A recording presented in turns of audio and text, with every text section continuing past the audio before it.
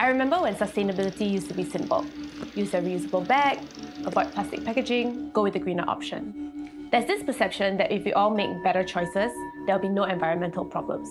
But that's not the case, is it?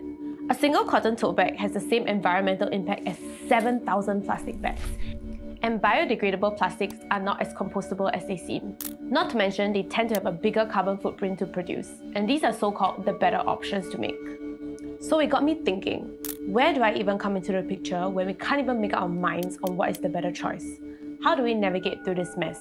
And why is the narrative always centered around individual behavior?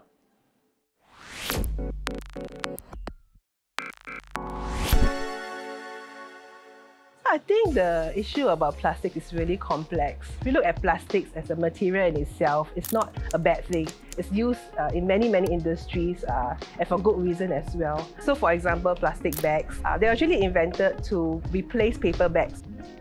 The issue then really becomes when plastic bags are seen as single-use disposables when it's still good to be reused and that's causing our waste problem. This is Huileng from Zero Waste SG a non-profit organization that focuses on outreach and education, especially on the circular economy. So why should we make a change when it's the system itself that needs a changing? The truth is we do live in a world that is based on a linear economy. Because if you look around us, a lot of our daily use products, they are petroleum based. Toothpaste, uh, lipsticks even. Um, it's not easy because uh, the convenient way might not be the most sustainable way.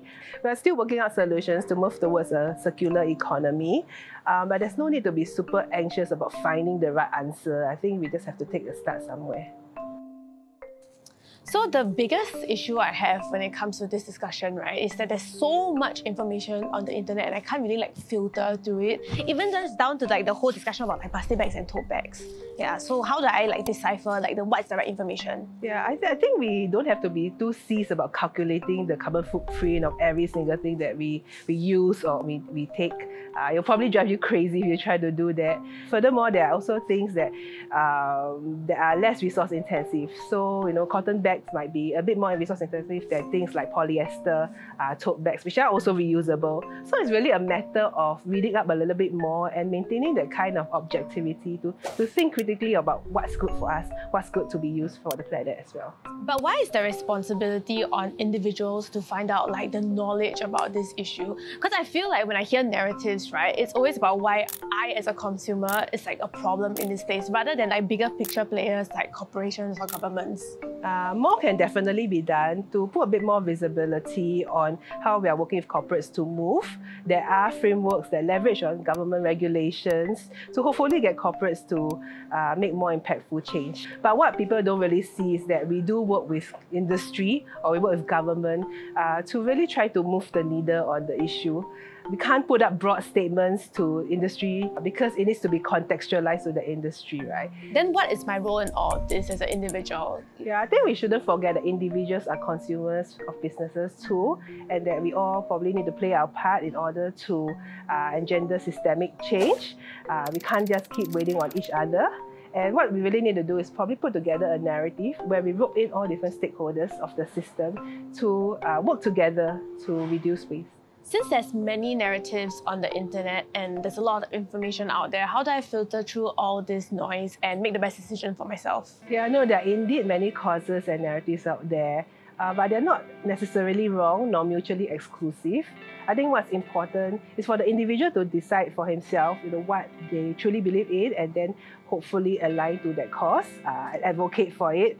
Uh, more practically speaking, it's really how do we incorporate some of this into our lifestyles. I think we bear some responsibility in making plastic so widely acceptable and used. Uh, yes, individual change is one part of it, but we also ought to encourage governments and corporates to move in the same direction as us. Uh, for example, companies, they really look at their dollars and cents as well, and uh, individuals as consumers have that vote to really um, help nudge companies in the right direction. I think when it comes to environmental sustainability, every small action counts.